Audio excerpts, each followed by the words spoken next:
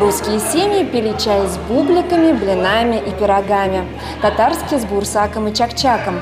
О традициях чаепития у разных народов рассказали в Национальном музее День семьи, любви и верности. У нас экспозиция, она посвящена этнографии народов Башкортостана. Шесть залов. Мы с вами находимся в зале тюрков. Здесь мы развернули небольшую экспозицию, посвященную татарскому чаепитию. У русских мы показываем традиции русского чаепития, а башкиры у нас решили показать и традиционное свое жилище, потому что не каждый человек сидел за столом в нашем понимании тогда. Кочевые народы, полукочевые народы, они довольствовались тем, что садились дружной семьей а, на гостевой половине юрты.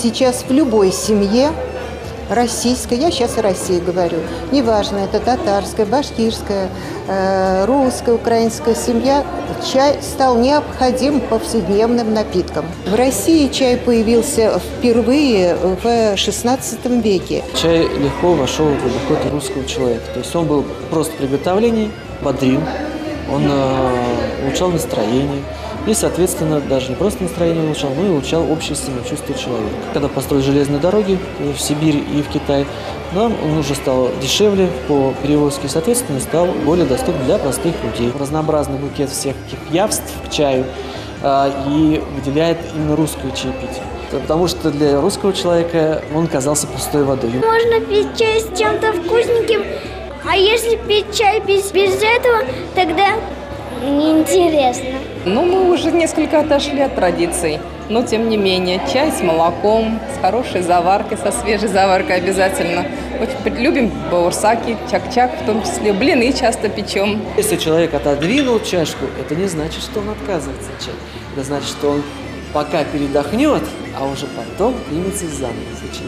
Потому что самовар обычно были там большого объема и требовали долгого времени, чтобы их, так сказать, опустошить. Берем заварник, открываем, а сначала ополаскиваем кипятком, сливаем в батон, засыпаем туда заварку.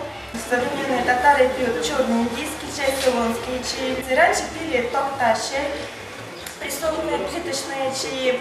Мне очень понравилось сейчас в татарском зале, вот церемония татарского чаепития, возвращение нас э, к истокам.